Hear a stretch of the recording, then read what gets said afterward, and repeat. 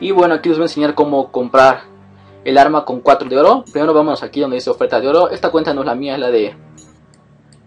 Es la de un amigo, pero escondí ya sus datos para que no vean de quién es. Entonces aquí le dan ir, seleccionan como si fueran a comprar esta, esta oferta. Le dan obtener oro. Y aquí le dan en cambiar. Más opciones de pago, acceso cash, 4 oro, comprar, ahí dice 24 pesos. Dice que no se pudo hacer el pago. Esto es normal que le salga que no se puede hacer el pago, pero después le dan comprar Marvel Gold.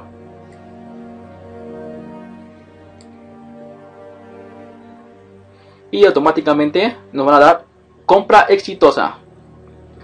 Nos van a dar nuestro recibo. Le damos cerrar. Y actualizamos la cuenta.